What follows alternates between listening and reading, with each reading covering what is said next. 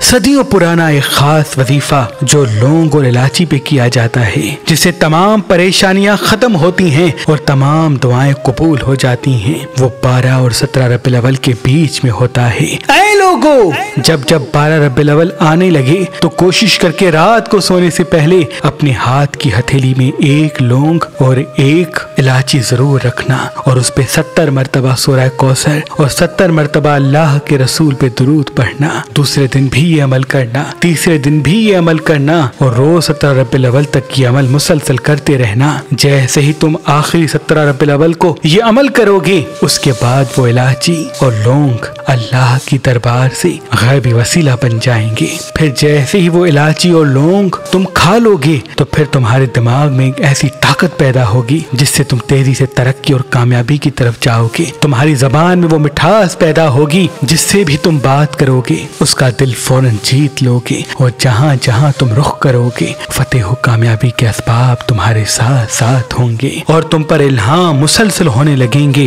तुम्हारी six sense इतनी रोशन होगी कि सबके चेहरे तुम्हारे नज़दीक वाजे होंगे और यूँ तुम तरक्की, कामयाबी, खुशहाली के साथ तमाम मुरादें कबूल पालोगे।